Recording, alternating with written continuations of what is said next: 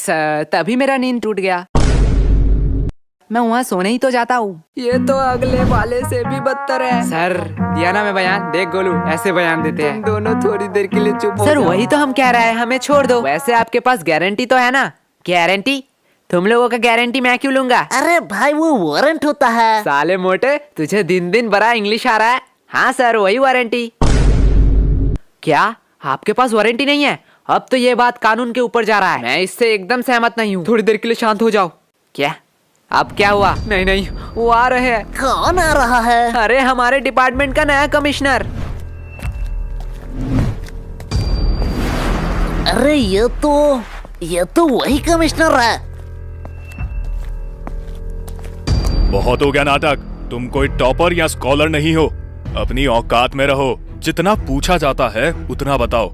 हमें कानून मत सिखाओ। सर आपने शायद गलती से मेरा कॉलर पकड़ लिया है। मुझे पता है तुम जैसे लोगों से कैसे बात करनी चाहिए। तुम लोग लातों के भूत हो बातों से नहीं मानोगे।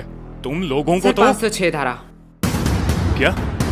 क्या कहा तुमने? सर 506 धारा के तहत आप किसी को धमकी नहीं दे सकते हो। और बात करते हैं बयान के तो आप स्कूल में घुस के एक नाबालिग से पूछताछ कर रहे हो उनके पेरेंट्स के परमिशन के बगैर। अरे सर जी हम आपके ऊपर तीन सौ छिहत्तर धारा भी लगा सकते हैं। गोलू साले तीन सौ छिहत्तर धारा सामूहिक बलात्कारों के ऊपर लगाया जाता है। अरे बाप रे मैं थोड़ी देर के लिए चुप रह लेता हूँ। और हमें हाथ लगाने की तो दूर की बात। अगर हमें खरोज भी आया तो 325 धारा के तहत जोखिम हमले के इंटेंशन में सात साल का जेल होगा आपको बस। और अगर हमने थोड़ी सी कोशिश करी और इस जोखिम को जानलेवा में कन्वर्ट कर दिया तो 307 धारा के तहत हाँ 10 साल या उम्र कैद का सजा हो सकता है। तो बेहतर यही होगा कि आप मेरा कॉलर छोड़ दीजिए। पता नहीं कब क्या हो जाए। मैं तो उसे आम बच्चा समझ रहा था। इसे तो पूरा लॉ पता है।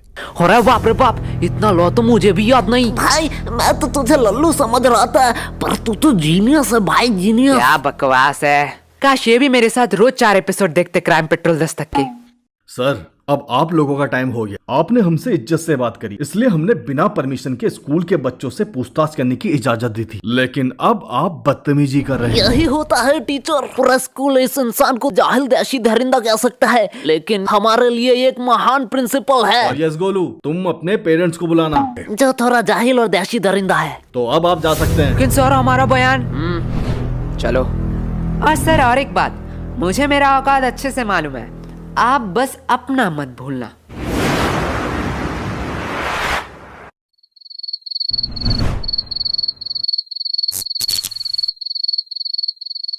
अरे यार इतना अंधेरा क्यों है? हम अपने फ्यूचर में तो नहीं आ गए। ना हम पढ़ाई नहीं करते हैं। हमारा फ्यूचर तो ऑलवेज ब्राइट है। भाई यार हम क्यों सही कर रहे हैं? गोलू भूल मत ये तेरा ही आइडिया था। तब तो सही कर रहे हैं। लेकिन आयशा से हम और एक बार डायरी मांग ही सकते थे। डायरी तू मांग लेना मैं तो जा रहा हूँ। अरे बाप रे बाप भाई रुक जा। आधी रात को ये ऊपर से आवाज़ कैसी आ रही है? Diary diary. अरे यार इस टॉर्च को क्या हुआ? गोलू साले